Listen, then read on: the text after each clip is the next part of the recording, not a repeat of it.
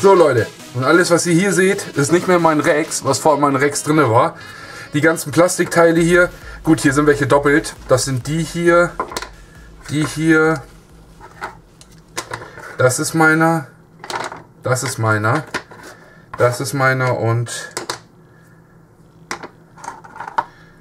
Hä? Nee. Achso, einer war ja kaputt, richtig. Und einer war ja kaputt. Ähm, genau. Ja, die Teile hier, die habe ich von äh, René aus dem Z. Die werde ich auf Ersatz behalten. Die habe ich als Schablonen genommen für die Gorilla Plastik Schablonen hier. Vorne und hinten. Und ja, das hier sind meine alten. Die sind aber auch noch absolut in Ordnung, nur dreckig. Müsste ich mal sauber machen. Das haben wir hier. Dann habe ich mir hier die Teile gemacht. Die habe ich jetzt auch übrig. Hier sind sie auch nochmal. Ebenso wie die Stangen. Die ganzen Sachen hier. Das ist mir kaputt gegangen, aber da habe ich schon jemanden gefunden, der mir da was schenken möchte. Ja, hier habe ich die Form, die werde ich lassen. Ich habe von den äh, zwei, also von den 500 Gramm Gorilla Plastik, habe ich die ganzen Kügelchen hier übrig. Ich weiß nicht, wie viele das sind, aber wenn ich das so runterhau, sage ich mal, die Hälfte der Tüte ist noch übrig. Also würde ich mal schätzen, äh, von 250 Gramm sind das noch so 150. Hier habe ich schwarz, da gebe ich euch einen Tipp. Ähm, wenn ihr welches, wenn ihr Gorilla Plastik übrig habt nach eurer Arbeit und das ist ziemlich viel, schmilzt das ein. Ist nur ein Tipp von mir. Schmilzt das ein und macht daraus eine lange Zunge. Eine ganz dünne, lange Zunge. Und aus dieser langen, dünnen Zunge könnt ihr dann schön mit einer Schere oder so, oder was immer, wie auch immer, könnt ihr so eine Streifen schneiden, so eine dünn. Das Tolle ist, ihr könnt das dann immer gleich wieder so dosieren. Das heißt, wenn ihr mal was machen wollt, nehmt ihr so ein paar Stücke hier, packt das ins Wasser und dann habt ihr eine Dosierung. Zweitens, wenn das dünn ist, schmilzt es besser. Wenn ihr so einen Brocken habt, so, ein, so eine Faust und lässt den aushärten, wisst ihr, wie lange ihr braucht, um den wieder weich zu kriegen. Das dauert Stunden. Das heißt, immer Wasser reinkippen, äh, weich werden lassen, Wasser wieder reinkippen, weich werden lassen. Das dauert richtig lange. Habt ihr so eine dünnen Streifen, geht das ruckzuck. Nur als Tipp, falls ihr was übrig habt. Ja, die ganze Menge hier habe ich auch übrig. Das sind wohl auch nochmal so, ja weiß ich nicht, 50 Gramm oder so. Die sind übrig geblieben. Und die Schablonen, ja, die Aluteile hier, das sind meine alten. Die werde ich äh, nochmal richtig behandeln. Ich hatte die ja nicht richtig behandelt. Ich habe die nicht mal angeschliffen. Ich habe die einfach nur entfettet und habe sie dann angesprüht. Und ja, wie so ein Amateur, äh, also unter uns Maler und Lackierern sagt man einfach Amateur. Das ist einfach amateurhaft. Ich werde mich aber darum kümmern, wenn ich mal Langeweile habe und so werde ich die mal richtig äh, anschleifen, mit einer Feinschleifung äh, äh, behandeln. Dann werde ich sie vorgrundieren äh, und dann werde ich sie mal richtig lackieren und äh, dann eventuell mal wieder einbauen etc. Wer weiß. Ne? Auf jeden Fall sind die Teile jetzt auch hier übrig. Ja, ich zeige euch jetzt mal den fertigen Rex. So, hier haben wir den Rex. Da steht er. Mit Gorilla Plastik, mit dem Dämpferbrücken, den neuen. Und ja, jetzt fragt ihr euch, wo sind die jetzt die Teile, ne? Man sieht es nicht sofort auf den ersten Blick, aber der Wagen hat Gorilla Plastik. Und zwar nicht nur gerade wenig, und zwar funktioniert das wirklich so einwandfrei, also alles von der Lenkung her, von der Beweglichkeit wie ein normales Auto, nur dass die Teile halt eben aus Gorilla-Plastik sind. Und zwar die hinteren Träger, hier unten, da, Gorilla-Plastik, hier musste ich den umdrehen, deswegen ist die Oberseite hier so schön, aber dafür auf der Seite nicht. Ja, weil man kann die nämlich einfach verwenden für die andere Seite, die sind nämlich identisch. Und vorne habe ich euch ja schon zwischendurch gezeigt, und hier oben die Teile. Ja, und den werde ich jetzt wieder, da werde ich jetzt wieder einen schönen äh, Verbrennermotor reinbauen, zwei ordentliche Servos und alles und der wird wieder tipptopp in Ordnung gemacht und dann wird das mein Becherauto sein. Also mit dem ich alles mögliche machen will. Ich will springen, ich will über hügeliges Gelände fahren. Ich will alles Mögliche, wo ich keine Angst haben muss, dass irgendwie die Querträger mir kaputt gehen können. Und dann werden wir mal testen, zusammen, gemeinsam, was dieses Gorilla-Plastik aushält. Ich kann euch das ja mal zeigen. Ich lasse ihn mal aus mal aus eurer Höhe fallen. Ja, wie ihr seht, das ist alles kein Problem. Dieses Gorilla-Plastik, das ist bombisch. Also da bricht auch nichts oder hier wackelt auch nichts. Guckt euch das an. Ich kann hier richtig richtig mit Kraft hier dran wackeln und das ist auch alles fest. Also das eiert jetzt hier auch nicht rum, nur weil das Gorilla-Plastik ist. Nee, hat auch eine Stabilität. Und vorne ebenso. Hier wackelt nichts oder so, sondern das funktioniert einwandfrei, das Zeug. Und wenn das beim Bashen, sagen wir mal, es bricht irgendwas, egal was, ist ja egal. Wir können es einschmelzen und neu machen. Aber ich möchte gucken, ob es sich überhaupt lohnt.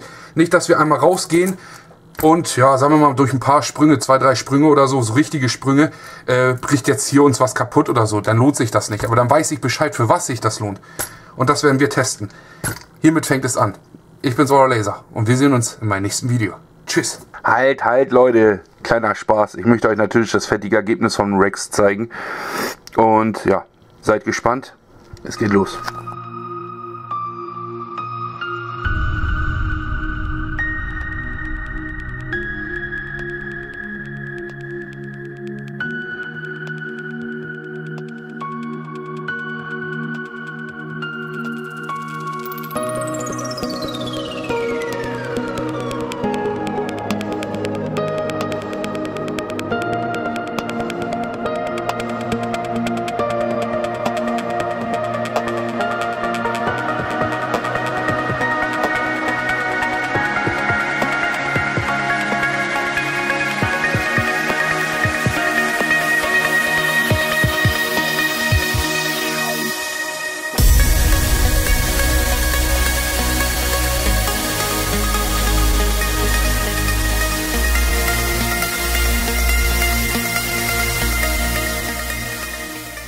Da steht er, fertig. Ich hoffe, er gefällt euch. Ich habe ihn ein bisschen beklebt mit den Projektaufklebern. Hier der Sandy, hier ein Ansmann-Aufkleber, der ja auch gut passt. Ist ja auch ein 1 1 Nitro Buggy 4WD. Das ist ja der Rex X Promo 1, der allererste Version von Konrad. Und ja, einer meiner Meinung nach der besten äh, Fahrzeuge, die Konrad damals rausgebracht hat. Ansonsten die neuen Rex die sind alle so anfällig und dieser hier, der macht schon so viel mit und hält aus und kaputt gegangen ist so gut wie noch nie was, außer mal der Querlenker vorne. Aber da waren ja auch dicke Steine und ansonsten nichts verbogen. Der sonstigen, die Knochen, die ihr hier seht, die blauen, das sind immer noch die allerersten. Die wurden nie ausgetauscht und das Ding ist einfach Bombe. Das, das Teil ist echt Bombe. Also dieser Rex ist wirklich grandios. Ja, wie ist er ausgestattet? Ich habe hier zwei Bluebirds drinnen mit 620 MG. Die haben jeweils 10, äh, 10 Kilo Stellkraft für die Lenkung und fürs Gasbremsservo. Müsste absolut ausreichend sein. Sind auch die einzigsten Servos, die so einigermaßen was taugen vom Bluebird. Die 621 und aufwärts, die sind alle total der Käse. Die Digital-Servos äh, sind noch einigermaßen brauchbar. Aber ansonsten sind mir alle abgeraucht, außer die 620er. Ja, gucken wir mal, was die 620er hier verrichten. Hoffentlich halten sie. Ja, ich habe die blauen Brücken von René verbaut. Hier vorne Gorilla Plastik. Der Wagen federt mit dem Gorilla Plastik auch ganz normal. Und die Gorilla Plastik Querlenker machen ihren Dienst. Also ich bin wirklich begeistert. Hier funktioniert alles, wie es sein soll. Ja, ich habe so leicht blaue Akzente, wie ihr erkennen könnt. Die Dämpferbrücken, die Kaderwellen, die waren schon blau, aber blauer Sprietschlauch und so, das gibt so ein bisschen blau, silber, schwarz Effekt. Ich finde, das sieht richtig geil aus. Schön mit den Ansmann-Reifen drauf. Ja, die Karo ein bisschen beklebt mit euren Aufklebern. Somit seid ihr hier mit auch verewigt. Ich finde, der sieht richtig geil aus. Nicht zu krass verändert, aber doch ein bisschen schick gemacht. Ich finde, der sieht richtig cool aus. Gefällt mir richtig gut, der Rex. Ja, und den werden wir jetzt testen auf alles, Leute. Den werden wir, da werde ich so Hardcore-Bashing machen. Wir werden dieses Gorilla-Plastik so testen, was es aushält, was es alles mitmacht. Und dann könnt ihr eure eigene Meinung bilden, ob ihr auch Gorilla-Plastik-Querlenker machen wollt, etc. Wie gesagt, Aussehen ist nicht alles, finde ich. Es muss auch funktionieren. Und das ist, glaube ich, am wichtigsten hier bei der ganzen Geschichte, dass es auch funktioniert. Und ja, ich finde, es ja, es sieht einigermaßen hübsch aus. Kann man so lassen. Ja. Hier seht ihr nochmal den Rex in Überflug. Nochmal schön beklebt alles. Ja, ich hoffe, er gefällt euch. 25 CNC Force Motor drauf. Neue Glocke, neuer Luftfilter. Tank, alles gereinigt und schöner Ansmann-Reifen. Sollen supermäßig geilen Grip haben. Habe ich mir sagen lassen. Und den werden wir jetzt richtig Hardcore-Bashing testen. Ja, ich weiß noch nicht, wie das Fazit aussehen wird, aber ich bin guter Dinge. Und ich würde sagen, wir sehen uns dann in meinem nächsten Video, wenn es heißt Rex Bashing Time. Oder wenn was anderes kommt, kommt halt was anderes. Ansonsten wünsche ich euch was. Ich bin euer Laser. Danke, dass ihr dabei wart. Und wir sehen uns in meinem nächsten Video. Tschüss.